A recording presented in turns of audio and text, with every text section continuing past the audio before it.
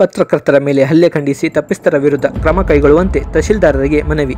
ರೋಣ, ಬೆಂಗಳೂರಿನಲ್ಲಿ ದಿನಾಂಕ ಹನ್ನೊಂದು ಎಂಟು ಎರಡು ಸಾವಿರದ ಇಪ್ಪತ್ತರ ರಾತ್ರಿ ಕೆಜೆಹಳ್ಳಿ ಮತ್ತು ಡಿಜೆಹಳ್ಳಿ ವ್ಯಾಪ್ತಿಯಲ್ಲಿ ನಡೆದ ಗಲಭೆಯನ್ನು ವರದಿ ಮಾಡಲು ಹೋದ ಮಾಧ್ಯಮದವರ ಮೇಲೆ ದುಷ್ಕರ್ಮಿಗಳು ಹಲ್ಲೆ ಮಾಡಿದ್ದನ್ನು ಖಂಡಿಸಿ ರೋಣ ಕಾರ್ಯನಿರತರ ಪತ್ರಕರ್ತ ಸಂಘದ ವತಿಯಿಂದ ತಪ್ಪಿಸ್ತರರ ವಿರುದ್ಧ ಸೂಕ್ತ ಕ್ರಮ ಕೈಗೊಳ್ಳಬೇಕೆಂದು ರೋಣ ತಹಶೀಲ್ದಾರರಾದ ಜೆ ಜೆ ಚಕ್ಕನಗೌಡ್ರು ರವರಿಗೆ ಮನವಿ ಸಲ್ಲಿಸಲಾಯಿತು. ಈ ಸಂದರ್ಭದಲ್ಲಿ ಪತ್ರಕರ್ತರಾದ ರವಿ ಕೊಪ್ಪತ್ ಪ್ರಕಾಶ್ ಗುದ್ದೇಪ್ಪನವರ್ ಮಹೇಶ್ ಅಚ್ಚಿನ್ಗೌಡ್ರ್, ಅಪ್ಪಣ್ಣ ಕಿರೆಸೂರ್, ಚಂದ್ರಕಾಂತ್ ನೆಲ್ಲೂರ್ ಪಾಲ್ಗೊಂಡಿದ್ದರು.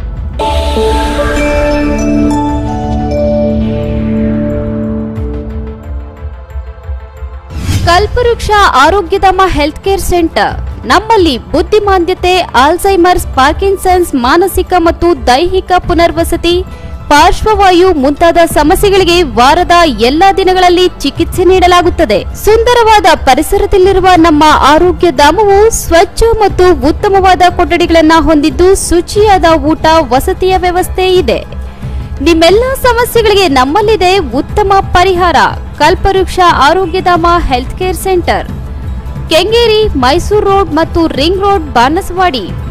mobile number nine four eight three three four two six nine five nine six three two nine eight three six nine five nine four four eight two four four six nine five another number nine four eight two three zero two six nine five